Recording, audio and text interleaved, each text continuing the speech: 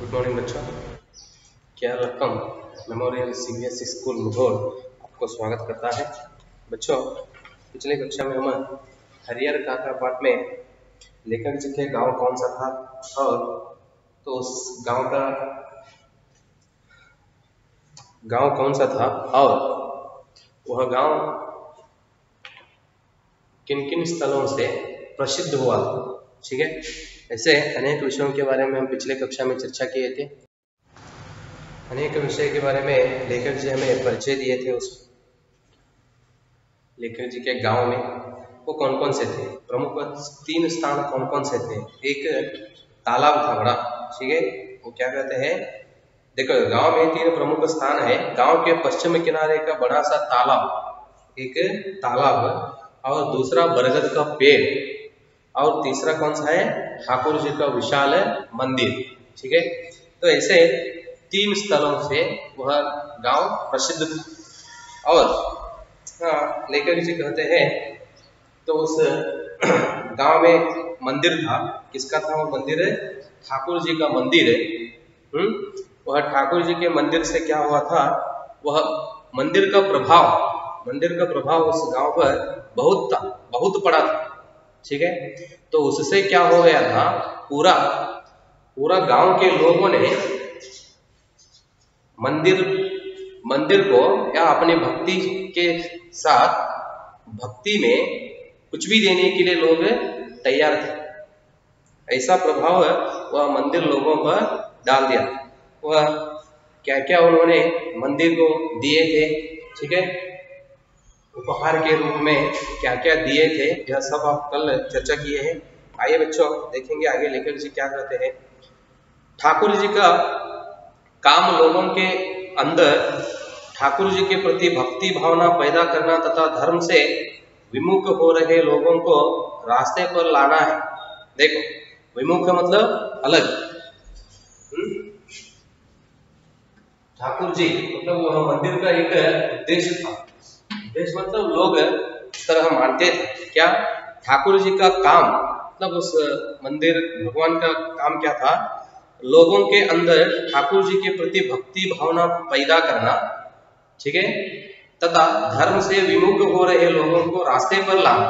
मतलब इसका एक ही अर्थ आप समझ लो कि जो लोग अधर्म पर चलते हैं, उन लोगों को क्या करना?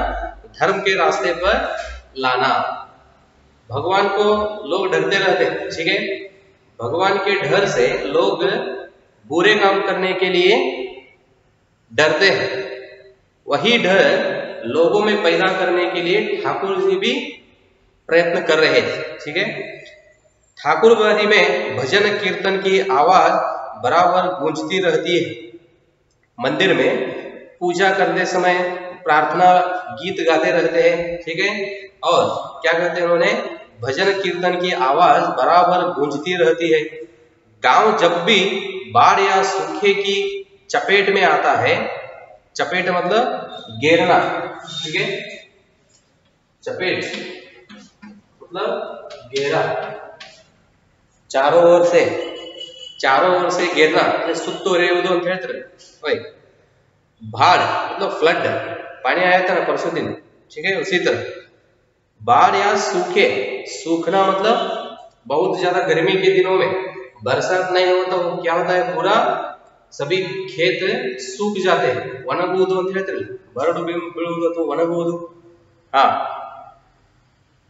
गांव जब भी बाढ़ या सूखे की या सूखे से घेरा में आता है या चपेट में आता है ठाकुर बारी के अहाते में तंबू लग जाता है। हाथ मतलब हाथ चार दीवार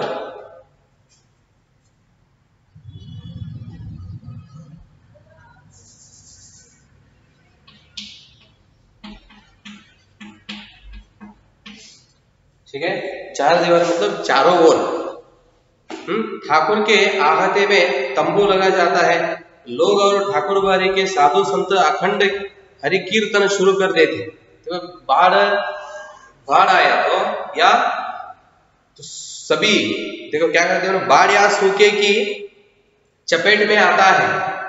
तो उस समय लोगों ने क्या करते थे ठाकुरबाड़ी के चारों ओर मतलब राउंड, क्या करते थे वे, तंबू लगाया जाता है। तंबू मतलब झोपड़ी बोलते हैं ना ठीक है मतलब पानी अंदर न आने के लिए ठीक है पानी को बाधा लगाने के लिए वे क्या करते थे चारों ओर दीवार बनवा लेते दीवार बना ಅಂದ್ರೆ ಆ ಗುಡಿಯ ಸುತ್ತಲೂ ಏನ್ ಮಾಡ್ತಾ ಇದ್ದಾರೆ ಅವರು ಮಳೆ ಬರಲಿ ಅಥವಾ ಏನೋ ಫ್ಲಡ್ ನೀರು ಬರಲಿ ಅಥವಾ ಬಿಸಿಲಿನಿಂದ ಬರಗಾಲ ಬೀಳಲಿ ಈ ರೀತಿ ಸಂದರ್ಭದಲ್ಲಿ ಏನ್ ಮಾಡ್ತಾ ಇದ್ರು ಅವರು ಆ ಒಂದು ಮಂದಿರದ ಸುತ್ತಲೂ ಗೋಡೆಯನ್ನ ಕಟ್ಟಿಕೊಂಡು देखो क्या कहते हैं उन्होंने तंबू लगा जाता है लोगों और ठाकुर बारी के साधु संत, गाँव के लोग और मंदिर की पूजा करने वाले संत लोग सभी क्या करते थे? अखंड हरि कीर्तन शुरू कर देते थे। भगवान की प्रार्थना करने, करना शुरू कर देते थे।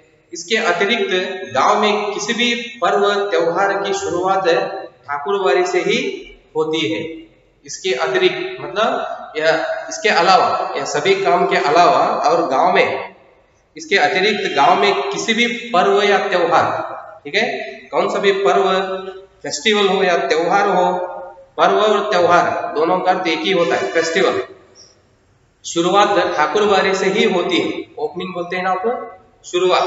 तो वह काम शुरू होने के लिए उन्होंने क्या करना है? शुरुआत देना है। होली में सबसे पहले गुलाब, गुलाल ठाकुर जी को ही चढ़ाया जाता है, होली के दिनों हम्म? तो उस समय गुलाल ठाकुर जी से ही चढ़ाया जाता है। दिवाली का पहला दीप ठाकुर बारी में ही जलता है। दिवाली का पहला दीप, ठीक है? दिवाली का पहला दीप ठाकुर बारी में ही जलता है। तो दिवाली के समय, दिवाली त्योहार में हम क्या करते हैं? घर घर में दीप से घर सभी क्या करते हैं? सजाते हैं। तो उसी तरह उधर क्या होता था? दिवाली के दिन पहला दीप ठाकुर बारी में ही जलता है। जन्म, शादी और जनेऊ। जनेऊ के अवसर पर अन्न वस्त्र की पहली भेंट ठाकुर जी के नाम की जाती है। घर में कौन सा भी शुभ कार्य हो, वो जन्म मतलब कोई बच्चे जन्म लिए तो हम्म या उनका नामकरण बोलते हैं ना, नाम रखना, शादी और जनेऊ के अवसर पर। जनेऊ मतलब ब्राह्मण लोग पहनते ना ठीक है ब्रह्म सूत्र हाँ तो ऐसे अनेक अवसर पर पहला अन्न वस्त्र की पहली भेंट ठाकुर जी के नाम से की जाती है ಅಂದ್ರೆ ಆ ಊರಿನಲ್ಲಿ ಪ್ರತಿಯೊಂದು ಯಾವುದೇ ಶುಭ ಕಾರ್ಯ ಆದ್ರೂ ಸಹಿತ ಮೊದಲು ಒಂದು ಭಾಗವನ್ನ ಯಾವುದಕ್ಕೆ ತೆಗೆದಿರೋದು ಅಂತ ಹೇಳ್ತಾರೆ ಅವರು ಆ ಮಂದಿರಕ್ಕೆ ಎಕ್ಸಾಂಪಲ್ ಅಮಾವಾಸ್ಯ ದಿವಸ ನೀವು ಮನೆಯೊಳಗೆ ಹೋಳಿಗೆ ಇದು ಮಾಡಿ ನೈವೇದ್ಯಕ್ಕೆ ಅಂತೇಳಿ ದೇವರಿಗೆ ಬಾಣ ಅಂತೇಳಿ ಫಸ್ಟ್ಗೆ ದೇವರಿಗೆ ಒಂದು ಬಾಣ ತೆಗೆದು ಕೊಡ್ತಿರ್ಲಿ. ಆಮೇಲೆ ಏನ್ ಮಾಡ್ತೀರಿ? ನೀವು ಅದನ್ನ ಭೋಜನಕ್ಕೆ ಸ್ವೀಕರಿಸ್ತಾ ಇದ್ರಿ ಸೇಮ್ ಯಾವುದೇ ಒಂದು ಕಾರ್ಯಕ್ರಮಗಳು ಅಥವಾ ಯಾವುದೇ ಒಂದು ಫಂಕ್ಷನ್ ಆದ್ರೂ ಸಹಿತ ಆ ದೇವರಿಗೆ ಏನ್ ಮಾಡ್ತಾ ಇದ್ರು ಅವರು ಮೊದಲಿಗೆ ಅನ್ನ ಆಗಿರ್ಬೋದು ಅಥವಾ ವಸ್ತ್ರ ಆಗಿರ್ಬೋದು, ಹೊಸ ಬಟ್ಟೆ, ಹ್ಮ್, ಇದೆಲ್ಲವನ್ನು ಆ ದೇವರಿಗೆ ಏನ್ ಮಾಡ್ತಾ ಇದ್ರು ಮೊದಲು ತೆಗೆದಿಡ್ತಾ ಇದ್ರು. ಠಾಕೂರ್ಜಿ ನಾಮಕಿ ಜಾತಿ ಠಾಕೂರ್ ಬಾರಿಕೆ ब्राह्मण, साधु, व्रत, कथाओं कथाओं के दिन घर घर घूमकर कथा वचन करते हैं। ठाकुर बारी के ब्राह्मण, साधु मतलब ब्राह्मण जाति के भक्त लोग। अब घर में, गाँव गाँव में एक मंदिर हो तो सिर्फ़ हम एक ही जाति के भक्त लोग नहीं रहते उधर। गाँव के हर सभी लोग, सभी धर्म के लोग भक्त बनने के लिए कौन से भी बाधाएँ नहीं है। तो उसी तरह इधर ब्राह्मण जाति मतलब ब्राह्मण जाति के भक्त लोग व्रत कथाओं के दिन तो उनका व्रत होता है, ठीक है? तो ऐसे दिनों में वे क्या करते थे? घर घर घूमकर, गाँव के हर एक गाँव घर जाकर कथा वचन करते हैं। लोगों के खलिहान में, खलिहान मतलब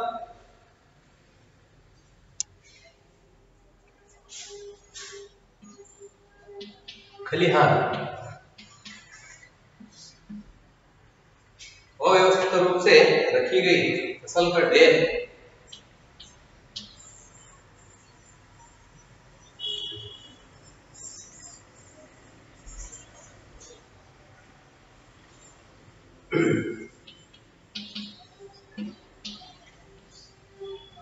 अव्यवस्थित रूप से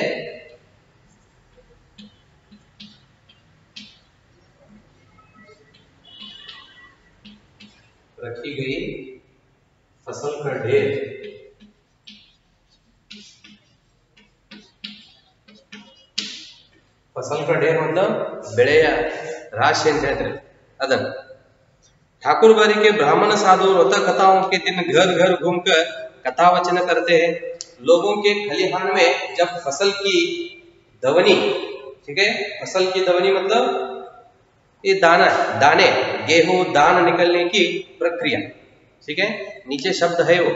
आप देख सकते हो।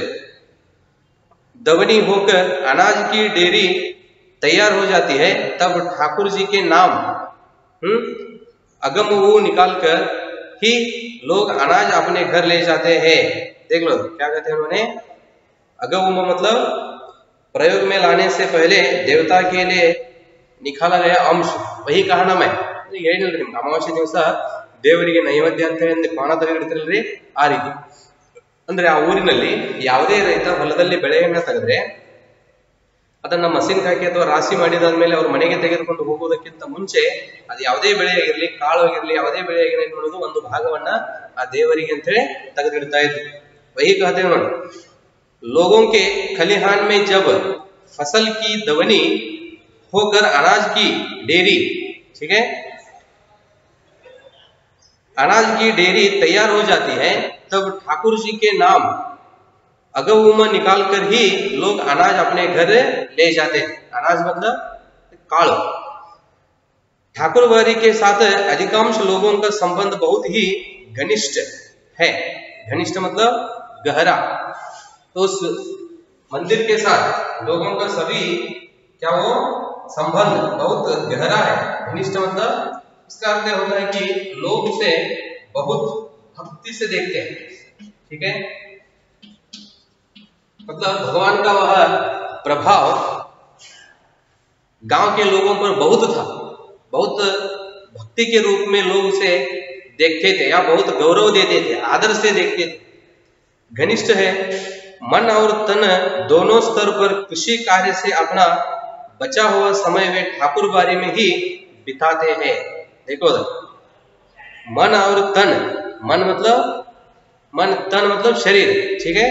मन मतलब माइंड बोलते ना मन और तन दोनों स्तर पर कृषि कार्य से अपना बचा हुआ समय मतलब लोग जब फ्री होते हैं, समझ में ना?